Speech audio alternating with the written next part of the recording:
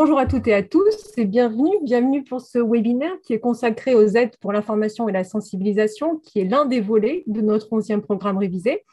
Donc, je vois qu'on est plus de 160, 170 personnes qui sont connectées à présent. Donc, je vous propose, il est 10 heures pile, je vous propose qu'on commence ce webinaire.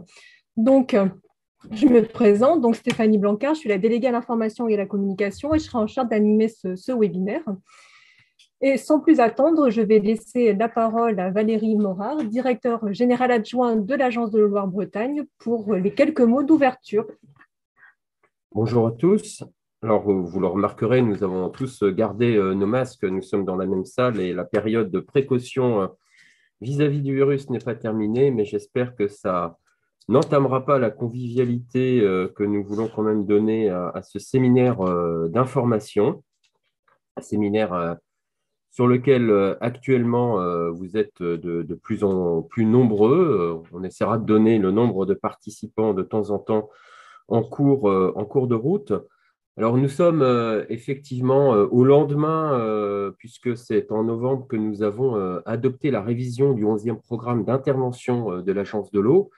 Alors le programme d'intervention, c'est le cadre qui définit l'ensemble des aides de l'agence et aujourd'hui nous allons traiter plus particulièrement euh, du volet information et sensibilisation.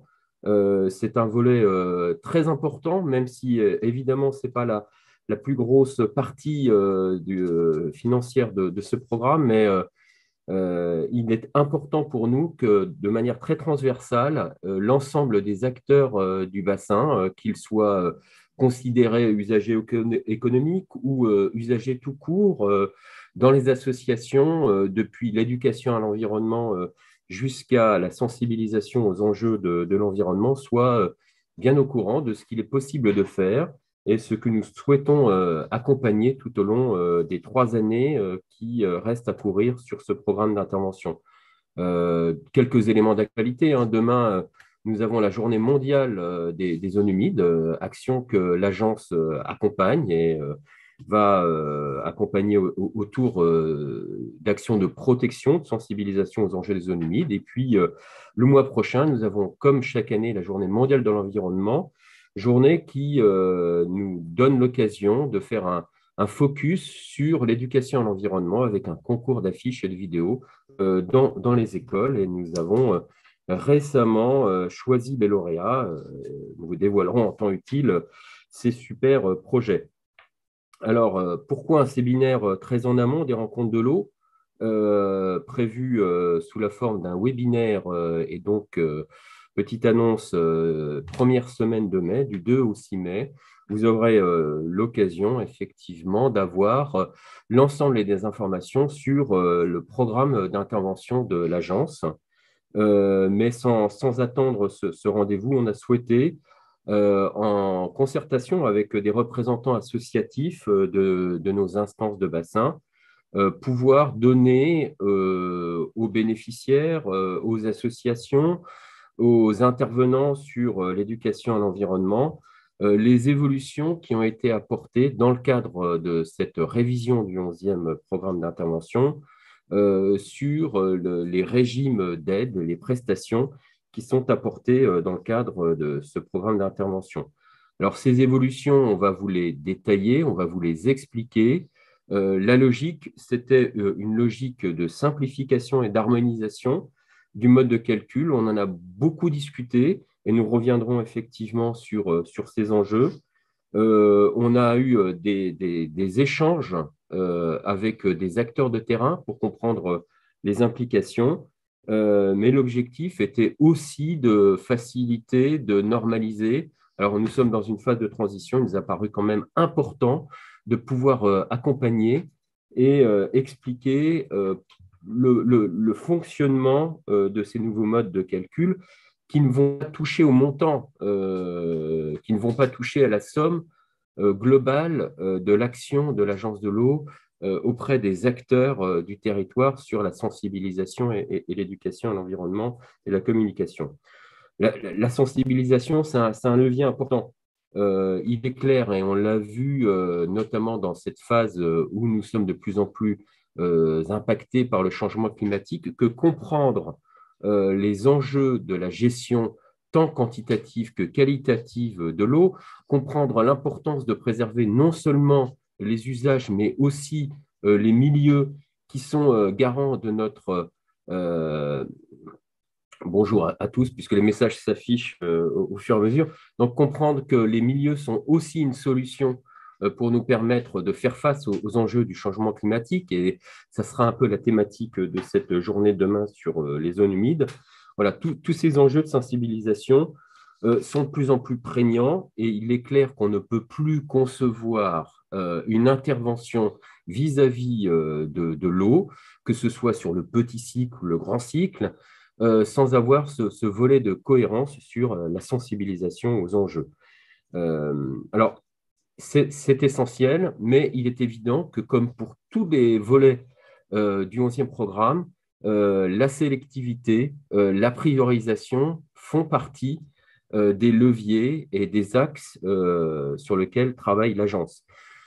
Dit autrement, on ne peut pas tout financer. Euh, il est clair que euh, chaque année, euh, nous devons, que ce soit dans le domaine de la gestion qualitative, la question de l'assainissement ou de l'international et évidemment de la communication, faire une sélection sur des projets.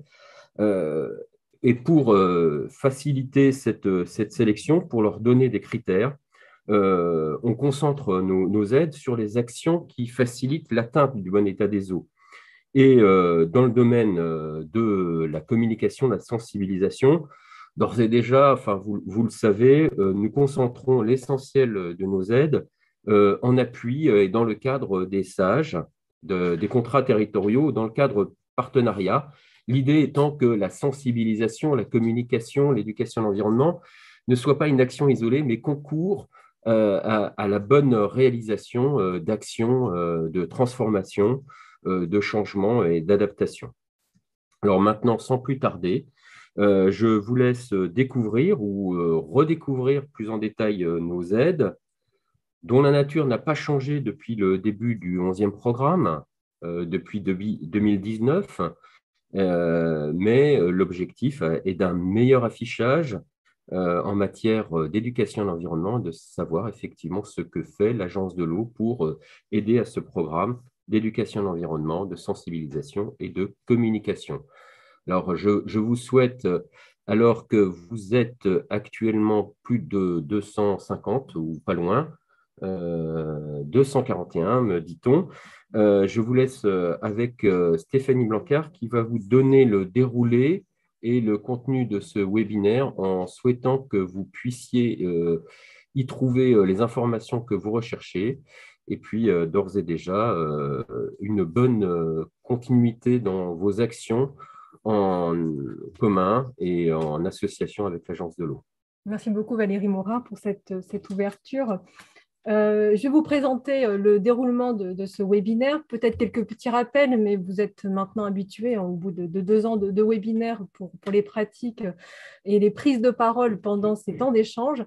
Donc, nous allons avoir euh, tout au long des présentations quelques petits temps d'échange. Donc, vous avez deux possibilités d'intervenir. Soit vous intervenez en, levant la main, en faisant un petit, euh, un petit geste pour vous signaler et puis je vous donnerai la parole pendant ce temps d'échange. Et vous avez aussi le module de conversation où vous pouvez nous poser un certain nombre de, questions et on ira piocher euh, à l'intérieur pour pouvoir échanger avec vous. Alors n'oubliez pas de baisser euh, la main une fois que vous avez pris la parole je le fais moi-même.